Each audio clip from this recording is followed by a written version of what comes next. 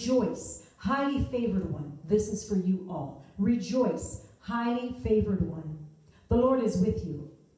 Rejoice, highly favored one. The Lord is with you. Blessed are you among women and men. Do not fear, for you have found favor with God. You will conceive in your womb and bring forth all that was deposited from God. That means even men. What God has put in you. Okay? You are going, what He has deposited on the inside of you. The Holy Spirit will come upon you, and the power of the Most High will overshadow you. For with God, nothing is impossible. With God, nothing is impossible. What He has conceived in you will leap at the sound of His name.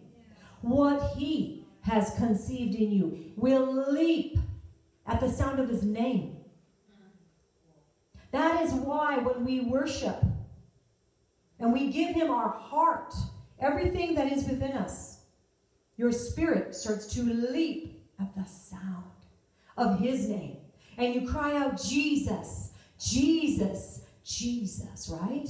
And you can literally feel something inside of you leap up. And it's your spirit that is so alive and so hungry for the more of his presence. And it's saying yes. It's saying yes at the sound of his name. It's leaping within you. He is leaping within you. So as you proclaim his name, even in worship, as you proclaim his name, Jesus, Jesus, Jesus, heaven's choir. It's like, oh, this is how I see it. This is what he showed me. It's like heaven's choir rushes in to fill the surroundings. So, like the surroundings here and in the surroundings on the inside of you, it's like heaven's choir rushes in and fills you. He completely fills you and takes you up higher in the arms of your Maker. Heaven, I mean, worship shouldn't just be we sing songs and we're kind of looking around and we're wondering how many times she can sing that line over and over and is it, what's the time? Really, we should really get more and more engaged by saying, Lord, teach me how to worship. When you come to worship, ask Him, teach me how to worship in spirit and in truth. In spirit and in truth. There is more that we can receive that He wants to give us. So immerse yourself with heaven's symphony. How about that? Amen. Immerse yourself with heaven's symphony. I know us up here, we get lost in heaven's symphony, right?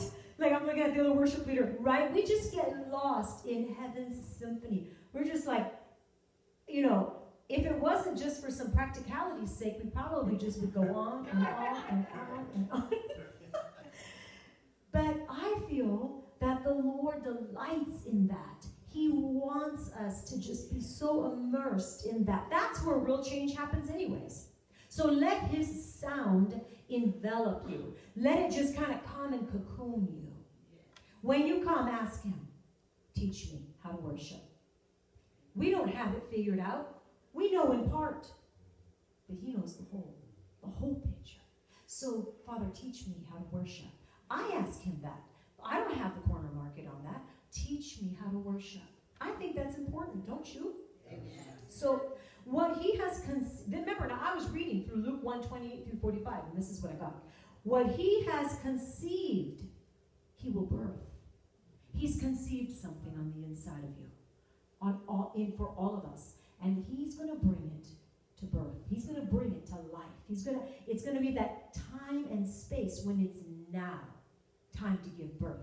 Now the season changes and it's now. The, the light turns green now. The page turns now. Right? So give space. Our job is to give space for his deposit, what he's deposited, that dream, that hope, that desire, what he has deposited.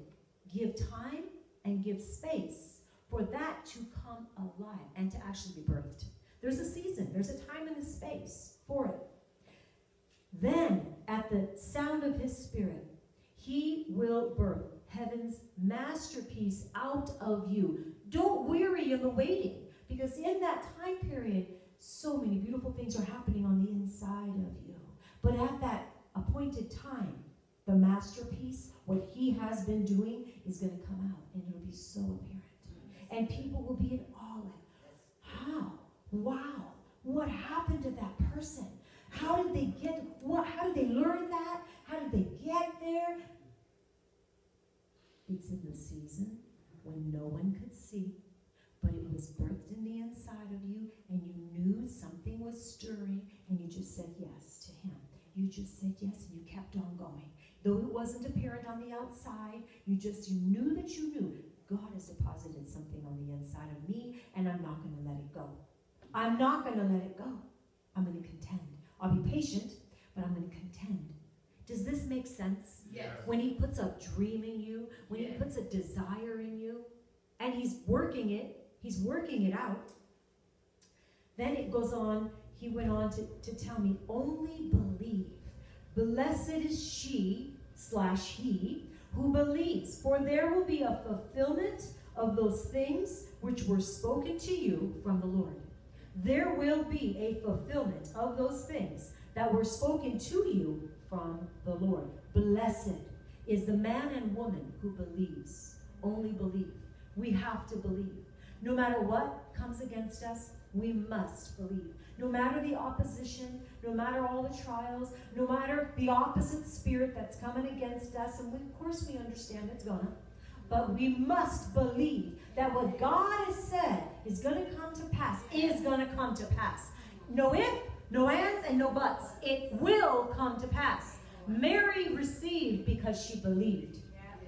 She received because she said it. She had a yes in her spirit. A yes. Oh, Lord, help us.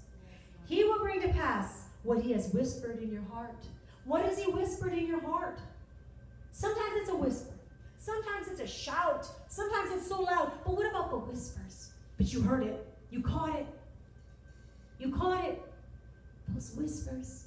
Don't negate. Don't belittle. Don't forget. Remember. Remember what he's told you. He will bring to pass what he has whispered in your heart. When your heart cried out to him, Abba, while your soul ached with pain and loss and devastation. While your soul ached. But he's going to bring to pass what he whispered in your heart. You have been marked with heaven's approval. Every one of you. You've been marked with heaven's approval. You just have to believe it. You just have to agree with it. Say, I have been marked with heaven's approval. I have been touched by the wind of his spirit. Come on. Have you been touched by the wind of his spirit? I know I have. I know I have. Ignited with his fierce love. It's fierce. It is so fierce. Do you ever stop and think about that? His eyes are ablaze with fire. It's a good fire. And he looks at you with this fierce love. I just, I'm in awe when I think about the fierce love of God. Because what He's deposited on the inside of me, He's going to have it come to pass. All I have to do is focus, focus on His beautiful face, the promises that He gave me, and know that His eyes are fierce with love for me. Of course, the opposition. That's why we cry out, Abba! Abba! Abba, Father, Abba. But yet my eyes will be fixed upon you, no matter what. Ruined for the ordinary, captivated for his love. So we gotta be sold out, sold out, and marked out ones. Are we sold out and are we marked out?